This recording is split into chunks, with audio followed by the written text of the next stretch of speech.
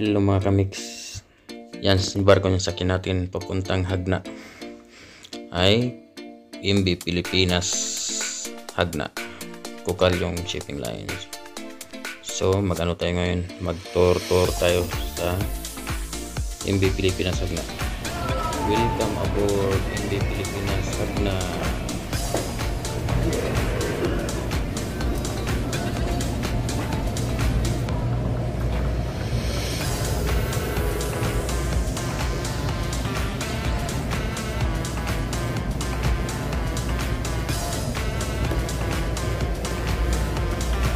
Wala kayo pasahero.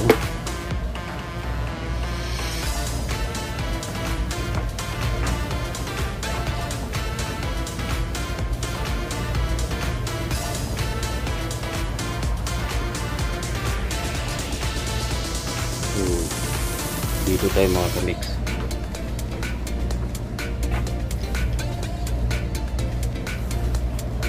Kunti lang pasahero sa ano, Bukalyong. Ang nasipit to Hagna Bohol. Silip mo lang tayo sa magulang natin sa Bohol bago babalik sa trabaho.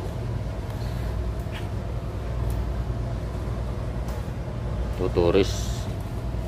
Tourist to mga kami. ah, 1,000 piso. Tumasahe dito. Aircon siya. Andun yung aircon. So, to aircon. Pwede na. Sa baba ako.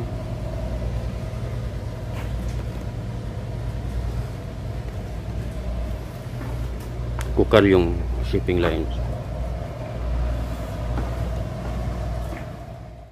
So ito, ikot tayo sa roof deck ng EMB Pilipinas Hagna. Magmuni-muni muna tayo dito. Ah, nasipit pa yan nasipit port area pa to dito. Hindi pa tayo nakalabas sa port area.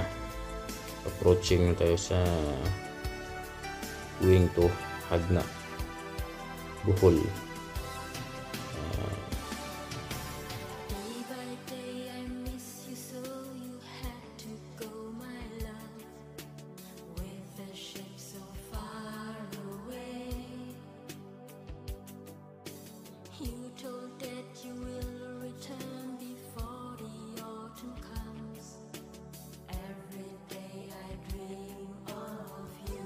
So, umalis kami dito mga kamix sa Nasipit Port. ah 11 ng tanghali.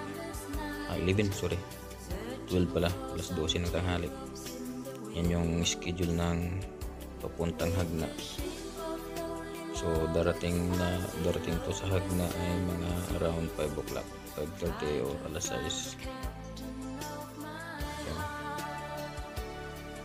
So, ano muna tayo dito? Silip-silip muna.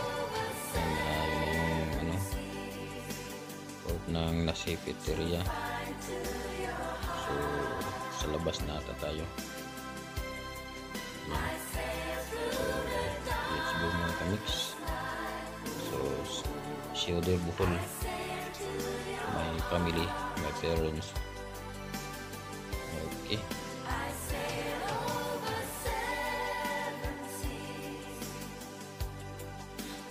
So dyan siya mga kamix yung kainan, yung hindi hindi pa nakapagtanghalian. Diyan pwedeng kumain dyan sa ano, sa dik ng MB Pilipinas Hagna. Pwedeng kumain dyan. Basta magdala lang din kayo ng pagkain, sariling baon.